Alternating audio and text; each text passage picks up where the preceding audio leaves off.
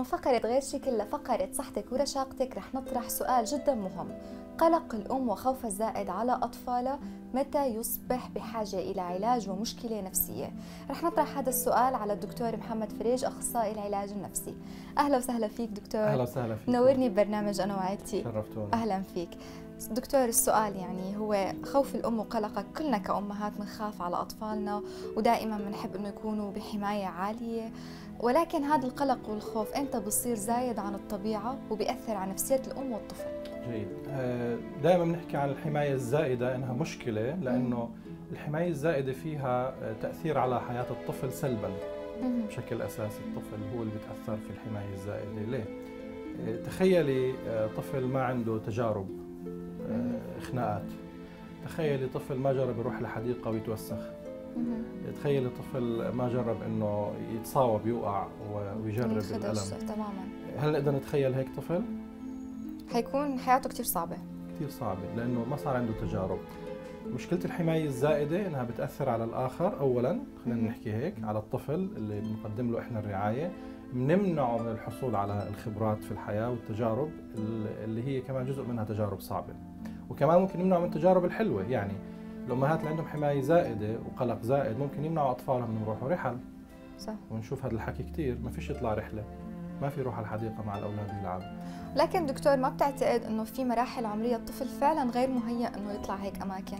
هلا بدنا نعرف المرحلة العمرية وإيش النشاطات يعني متى بيكون خوفي الزائد بمكانه ومتى بيكون لا ما مبرر. أكيد في المراحل المبكرة آه، عمر الطفل بيكون لسه ما عنده خبرة مشي مش مضبوط آه، طريقته للتناول الطعام إيش الأشياء اللي ممكن يمسكها أكيد بدنا نكون في رقابة دائمة حتى ما يتحول الموضوع آه، للعكس اللي هو الإهمال.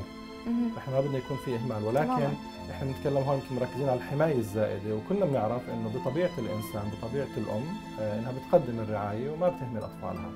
لكن آه، الأم نفسها بتيجي مرات بتقول أنا قاعدة بفكر 24 ساعة بإنه ممكن ابني يكون آه، تعرض لشيء لو طلع يلعب خمس دقائق 10 دقائق بكون قاعدة براقبه وبفكر فيه.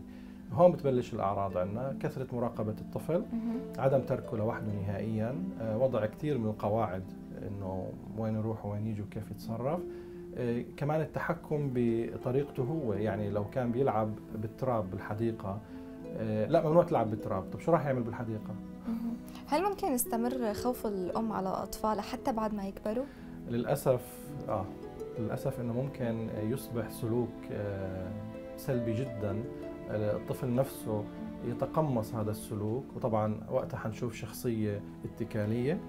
حنشوف شخصية مترددة حنشوف مشكلة بالثقة بالنفس حنشوف طريقة الكلام ممكن يكون فيها مشكلة أحيانا في تأتأة أحيانا في كلمات أقرب للطفولة منها للنضج آه، ونعم آه، ممكن الشيء يستمر لسنوات طويلة وممكن الأم أو الأب يعني حتى الحماية الزائدة مش فقط ترى من قبل الأم كمان الأب ممكن يصير عنده هيك شيء آه، ممكن حتى في المستقبل يضل الحماية موجودة ويشعر الأب أو الأم بأنه هو قاعد بيعمل شيء كثير كبير. فعليا هو للأسف يعني أخرج إنسان للمجتمع في عنده آه، ضعف شخصية في عنده قلة ثقة بنفسه. آه، بحجة إنه أنا كنت بدي أحميه وبحجة إني أنا بحبه. خلينا نحكي عن الأم اللي ولدت جديد وطفلة رضيع بين إيديها وعندها خوف زائد. يعني أنا سمعت مرة بأحد الجلسات الحوارية مع نساء أنه هي غير قادرة على النوم لأنه خايفة أنه طفلة ما يتنفس. فهل هي هي مشكلة كآبة ما بعد الولادة أم هي فعلا مشكلة حماية وسواس؟ هلأ آه، أظن أنه هاي الست بحاجة لمراجعة أخصائي أو طبيب نفسي لأنه احتمال آه، النواقل العصبية بالجسم أكيد للمرأة بعد الولادة بتتغير بصير فيها لخبطة. فممكن يحصل اكتئاب ما بعد الولادة ممكن يحصل بعض الأفكار الوسواسية اللي هي زي الوسواس القهري. موضوع إنه بدها تشيك عليه كل شوي إنه اذا بتنفس أو لا هي قد تكون فكرة وسواسية بحاجة ل فحص. وممكن تتطور لأشياء ثانية يعني من تنفس لأشياء أخرى إنه يوقع أو إذا حدا مسكه أو بتصير تتخيل نفسها هي قاعدة بتدبه أو بترميه من مكان. هاي بعض الأفكار المزعجة اللي بتصير عند بعض النساء. آه، فنعم ممكن تكون هاي فكرة آه، مرضية. هل ممكن تطول؟ آه للأسف مرات بتاخذ أسابيع بترهقها هي نفسيا.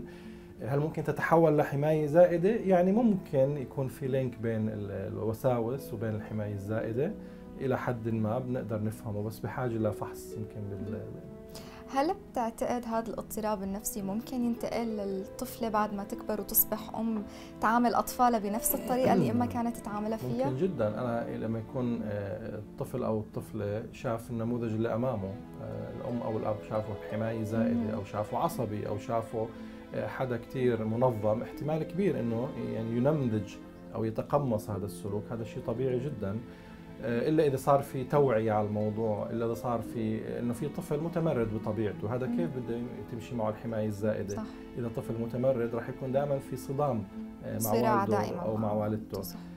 فاحتمال إنه يرفض تماما هذا السلوك. لكن هل ممكن بالمستقبل يكرر نفس السلوك مع أولاده؟ ممكن. آه، الموضوع هو يعني غير إرادي. كيف ممكن المرأة تتحكم فيه؟ أو الأب خلينا نقول. اولا الوعي التوعية. يعني أكيد الأب أو الأم اللي بيشعر إنه هو قاعد بيضيق الخناق على ابنه أو بنته أكيد هو في جزء منه قاعد بحس.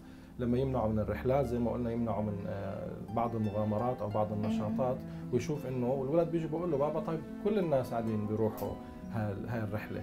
كل الناس قاعدين بيطلعوا. ليش أنا الوحيد اللي ما بطلع؟ وهذا الحكي منطقي. طيب أعطيه مبرر. فإذا كان أنا خايف عليك آه، مثلا بخاف تغرق إذا بدك تروح تسبح. طب كيف بدي اتعلم العوم بعض الناس عندهم نظرة تشاؤمية للأمور أو سمعوا تجارب سابقة سلبية فبيحبوا يتلافوا هذا الموضوع يعني. وهي حقيقة يعني أنا أذكر في عائلة كان فعليا حصل عندهم للأسف حادثة غرق ابنهم غرق وتوفى وهو طفل. فطبعا تعاملوا مع باقي أطفالهم بطريقة جدا آه، فيها حماية زائدة ما حدا منهم بقرب على المي. لأنه التجربة سابقة لأنه سيئة سابقة. جدا. مفهومه عاطفية نقدر نستوعبها ولكن هل هذا هذا تصرف صحيح؟ لا أظن. قدر الله كان في قدره مكتوب لكن شعورهم بالذنب تجاه أول طفل خلاهم دائما حريصين إنه يبعدوا أولادهم عن مصدر الخطر وهذا الشيء يعني في مبالغة لأنه أصبح تحول لحماية زائدة مرضية. طب كيف ممكن يكون العلاج أو كيف ممكن تخفف من حدة هي الحماية؟ هلأ في العلاج السلوكي المعرفي اولا آه، بدنا نتكلم عن ما حصل في التجربة الأولى ونفهم بالضبط شو مشاعرهم، شو الرواسب اللي عندهم. أكيد في مفاهيم دينية وإيمانية كثير نستعملها عشان آه، نؤمن بالقضاء والقدر. مزبوط. آه، زائد إنه بنفهمهم إنه هاي حياة ناس ثانيين أنتم قاعدين بتأثروا عليهم عشان تجربة سمعتوها أو مريتوا فيها. آه، لكل إنسان الحق إنه يخوض تجارب وانه يكون في عنده هو حصيلته هالخبرات الحياتية اللي بمر فيها ويعرف هو يميز من الخير أو الشر أو الصح أو الخطأ أو يسوي أو ما يسوي. كيف بنعلم الطفل إنه النار بتحرق؟ لازم يجرب يعني ما هو بده يقرب بده يشوف. صح. لحد ما مرة نقول له أوه شوف يشعر بالحراره صح. حي أو في شيء يكون مؤذي له لازم مرات إنه يصير في تجربة بس ما تكون صدمة. يعني مؤذية. ما نحرق إيده. تماما. زي ما بعض الناس بفكروا بقول لك إذا لازم ينحرق. يعني أظن هاي مبالغة برضه بال... بس برضه حرصهم عليه هو اللي بخليهم يعملوا هيك. آه سمعنا مرة عن حدا رمى ابنه في بركه سباحة بده إياه يكون جريء بده يعلمه وللأسف غرق. طب إيش اللي حصل هون؟ في شيء غلط حصل أكيد مش صح، كان لازم يتخذ الإجراءات. إجراءات. فنقاش الأفكار الغير عقلانية إحنا بنسميها آه، وضع برنامج تجربة آه، في الحماية الزائدة نبدأ نخفف. يعني أنا مرات بطلب من الأمهات اللي كثير آه، حريصين على أولادهم وما بيطلعوهم مثلا وبخافوا عليهم خايفين ينخطفوا خايفين حدا يتحرش فيه وخايفين خايفين. نبدأ نعمل برنامج إنه خليه ينزل بمكان يروح على الدكان وتكوني انت مثلا على باب العمارة. أو, أو شايفتين مكان بعيد آه. تماما. ونبدأ نعمل علاج بالتعريض أو بالتدريج شوي شوي حتى نعطي الطفل مساحة ونعطي الأم آه، اختبار لشعورها. وبنعمل آه، مثل تلخيص. إيش اللي حسيته أنت يا ولد أو يا بنت لما رحت على الدكان لو اشتريت لوحدك؟ قد إيه كنت مرتاح أو سعيد أو التجربة كانت جيدة وإيش اللي حسيتيه أنت الأم؟ يمكن تبكي يمكن تقول إنه والله حسيت إنه يعني راح يصير في شيء فبنيجي بنقولها هي ورجع وكان مبسوط. قد إيه أنت مبسوطة إنه مبسوط؟ فهي التجربة بتعلمها إنه تعطيه المسافة والمساحة الخاصة فيه. جدا سعدت بلقائك. بتمنى لك كل التوفيق والحديث كان جدا ممتع. أكيد بتشرفونا دائما. أهلا فيك. نورتنا. أهلا. متابعينا خليكم مكملين معنا. رح نروح لفقرة ابنك تربيتك